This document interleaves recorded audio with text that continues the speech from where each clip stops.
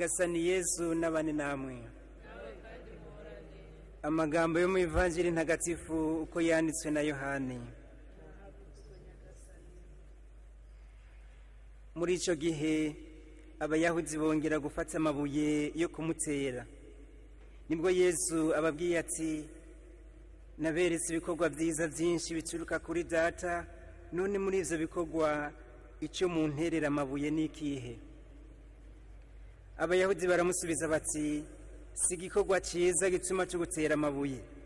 Turakuziza igitutsi ututse imana kuko uri umuntu maze ukigira imana.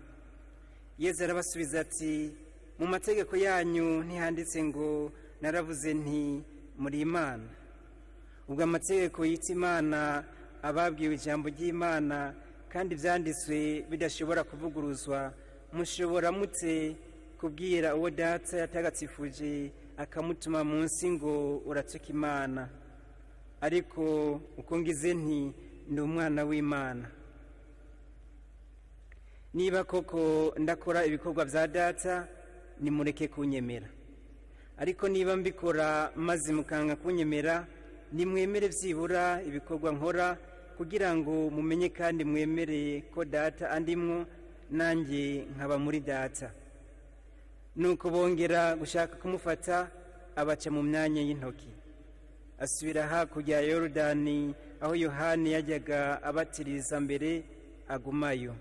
Abantu benshi baramusanga bavuga bati nta gitangaza na kimwe yohani yigeze akora ariko ibyo yamuvuzeho byari ukuri.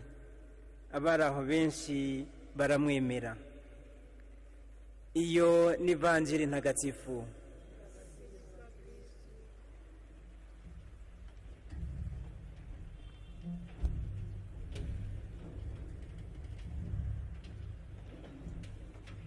Bavandimwe tugize iminsi tumva ukuntu abayahudi abafarizayi n'abandi bashaka gufata yezu ejo twarabyumvise aho ababwira ati imbere y'uko mubaho narindiho imbere y'uko aburahamu abaho narindiho akaba arimo bamenyesha y'uko yezu ari imana. Ni umwana w'imana yoherejwe na data kandi akaba arimo akora ibikorwa bya data. Uyu munsi naho turamubona n'ubundi bashaka kumutera amabuye. Nta kindi bamuziza atari uko akora ibikorwa byiza ibikorwa by'urukundo akora ibikorwa imana data yamwohereje gukora. N'uyu munsi akaba ari byo ariko arababaza ababwira ati ni iki gituma muntera amabuye? Mu by'ukuri nta kintu na kimwe gituma bamutera amabuye. Ikintu cyonyine kibituma ni uko badafite ukwemera. Ni byo tumvise yuko hari imice ibiri. Hari ababona yezu arimo aragenda bakabona umuntu. Bakabona umuntu akora ibitangaza ariko ntibarengere. Ibyo bitangaza akora ntibarengeze amaso yabo aho ngaho kugira ngo bashobore kubona n'amaso y'umutima kugira ngo babone neza yuko ari imana. Yezu ariko arakora ibyo bitangaza. Nicyo gituma mwumva bashaka kumutera amabuye. Kuko bahagaze kuri ibyo bikorwa babona babona umuntu asa n'abandi ntibatekereze yuko ari imana. Tumvise yuko hari abagiye mu butayu hari rubanda bagiye mu butayu bo barasenga barabona imana. Bagira amaso abona neza areba akabona ibitangaza iby'imana ikora ibyo yezu kirisiti yari arimo arakora bo bo bararengera uyu muntu yezu babona babona imana irimo irakora muri yezu kirisito bari bafite ukwemera barasenga bakareba ibyo yezu akora ibyo bikorwa akora babibonye bakabona imana. Bakabona imana irimo irakorera muri yezu imana yezu kirisito nyine yoherejwe na data. Nibyo yezu kirisito ariko arabibutsa ati ibikorwa byanjye ndimo ndakora n'ibyo data yantumye. Ndi kumwe n'imana data kuko ndi kunkora ibikorwa imana data yanyohereje gukora. Natwe rero twisabire muri iki gitaramo cy'ukarisiya kugira ngo tugire amaso areba. Hari igihe dushobora kubona ibintu bikoreka ibitangaza bikoreka tukagira tuti uyu ni umuntu yabikoze. Cyangwa umuntu imodoka ihaswe kumwica cyangwa ahaswe kugira agisida akumva yuko ari igitangaza. Ntabone yuko hari ikiganza cy'imana kiri inyuma. Ntarengere ibyo ngibyo bibaye ngo arengeze amaso aho ngaho abone ibindi biri inyuma abone yuko hari imana iri inyuma imana yamukijije. Niyo tuharonse ibyo dufungura buri munsi umengo n'ibisanzwe ariko nabwo biba bisanzwe.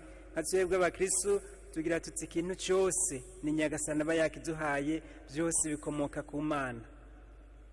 Mutagatifu inyasi rero ni we atubwira yuko dukwiye gukoresha ibyo dufite byose ariko tukabyerekeza ku mana tukumva yuko byose bikomoka ku mana ari imana yabiduhaye. Tukabikoresha kugira ngo dusingize imana ariko ibyo ngibyo ntibiba ari byo twita imana ntitwumve yuko ari twebwe dukomeye cyane. Nicyo gituma rero kuri twebwe abakristu abakurikira umwami wacu yezu kristu igihe cyose ikintu cyose dukoze tucyerekeza ku mana. Tugatanga izisengesho tukagira tuti byose bikomoka kuri wewe byose bisubira kuri wewe ni we mwami wacu. Ibi rero bidusaba yuko tugira ukwemera iyo hagize nk'umuvandimwe adukorera ikintu nimba ari cyiza umuntu aje akadusuhuza hagira gutse tumve yuko ari nyagasana amwohereje tumve yuko inyuma y'icyo cyiza umuvandimwe adukoreye ni nyagasani yamwohereje. Tubone ikiganza cy'imana gikorera mu bantu ni byo tuba twaje gusenga tukabona yezu uri mu karisiya mu gutsura iki gitambo cy'ukarisiya hose tukumva yuko turi kumwe n'imana ariko nyagasana akoresha n'ibindi byinshi byinshi cyane agakoresha abavandimwe abo tuba duturanye inshuti zacu n'abandi benshi. Mbese n'abantu tuba tubona yuko badashobora kugira ikintu badukoreye nyagasana arashobora kubakoresha. Bose bakatwereka ikiganza cy'imana bose bakatwereka ubuntu bw'imana. Rero twisabire muri iki gitambo cy'ukarisiya kugira ngo tugire ayo maso abona. Amaso ashobora kubona ibyiza nyagasana dukorera amaso ashobora kudushikana kuri uko kwemera ukwemera kubona ibintu birenze. Ibi ngibi abantu bo ku isi babona hamwe umuntu adukoreye icyiza tubone yuko ari nyagasani tubona yuko ari imana.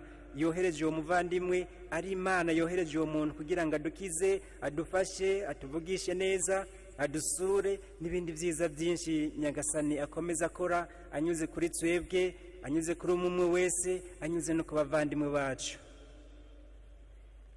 Nyagasani imana yacu turagusaba udukomereze ukwemera uduha amaso abona kugira ngo ibyiza udukorera unyuze kuri twebwe nyine unyuze ku bavandimwe bacu bidukomereze ukwemera dukomere muri uko kwemera kandi natwe dukomeze togeze ingoma yawe ngaha ku isi mu mitima yacu n'aho dutuye hose. Amen.